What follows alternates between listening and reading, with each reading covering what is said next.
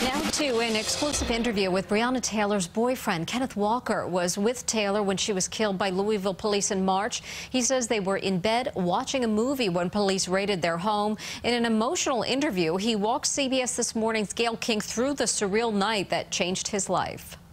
I don't think I ever heard so many gunshots like all at the same time. I've never been to war, but I assume that's what war probably sounds like. One officer fired six shots. Officer Mattingly. Officer Cosgrove fired 16 shots. Officer Hankinson fired 10 shots. That is a lot of firepower. I still try to make sense of it to this day. When all the gunfire stopped, she was like bleeding and stuff, and I was holding her. You know, then that's when I called my mom. You called your mom first? Yeah, I told her that somebody just kicked in the door and shot Breonna, and she's she's freaking out at this point, but she told me to call 911, so I did. 911, Operator Harris, where is their emergency?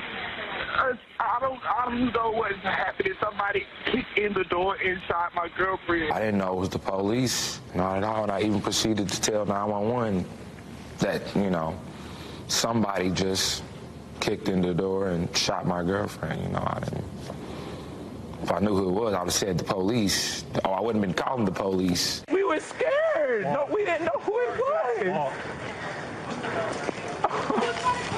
we didn't even know who it was. And I was in the back of the car. When we finally left the scene, we pulled over in like a random parking lot on Manslick, which is the street like at the bottom of the hill down the street from Breonna's apartment. And another uh, officer in an unmarked car, and he wasn't in uniform and stuff, and he came to my window. Hey, partner, can I get your name? Kenneth Walker. Matt, uh, there was a little bit of miscommunication. I wanted to talk to you before they left. And then when I got to the police headquarters or whatever it was, they took the handcuffs off me and everything. When were you finally told that Breonna didn't make it? I never really got told, like, directly. I saw it on the news. The That's next, how you heard Breonna Taylor died? On the news? Pretty much. You can see the entire interview on our website, cbsnewyork.com.